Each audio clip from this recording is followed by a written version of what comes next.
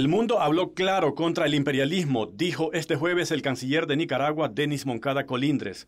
Al concluir el 78 periodo de sesiones de Naciones Unidas, el canciller valoró la posición mayoritaria de un conjunto de naciones que coinciden en que deben cesar las agresiones imperiales en favor de la paz y la estabilidad mundial. Hay una actitud de organizarse, de continuar la lucha en defensa precisamente de la soberanía de sus países. Frente a las mal llamadas sanciones, dijo, el mundo está claro que estas medidas unilaterales son agresiones que socavan el desarrollo de los pueblos. Reiteró lo planteado por Nicaragua en la Asamblea de Naciones Unidas en torno a su posición de resistencia y no arrodillamiento frente a estas agresiones. No hay rendición, no conocemos el concepto de rendición.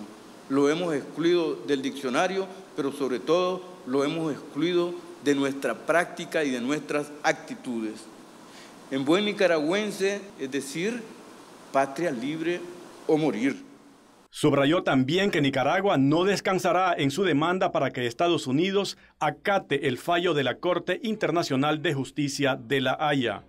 Hasta que realmente los Estados Unidos cumpla y pague con esa sentencia que como decíamos en el mensaje eh, de, nuestro país, de nuestro gobierno en, la ONU, no es que va a resolver el, rompimiento del alma de nuestras madres y de nuestra familia con todos los daños que, provocó eh, la agresión norteamericana en la década de los 80, pero paliará en algo realmente reconstruir y rehacer la destrucción de la infraestructura. Como buena noticia, el canciller consideró que el mundo está cambiando para bien de la humanidad un nuevo orden mundial se abre paso, a pesar de la resistencia y los intereses de las potencias hegemónicas. En esa 78 asamblea ah, te da, te da realmente, escuchás, oís que hay planteamientos de los jefes de Estado, de gobierno, de cancilleres, de jefe de delegación, en esa dirección.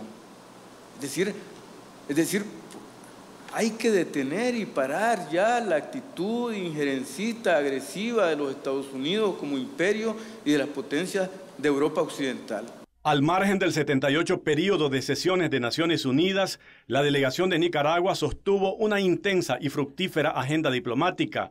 El canciller nicaragüense dijo que sostuvieron 28 reuniones con países amigos, otros 11 encuentros sobre temas diversos como el mapa geopolítico de las sanciones, la pandemia y los objetivos de desarrollo sostenible, entre otros.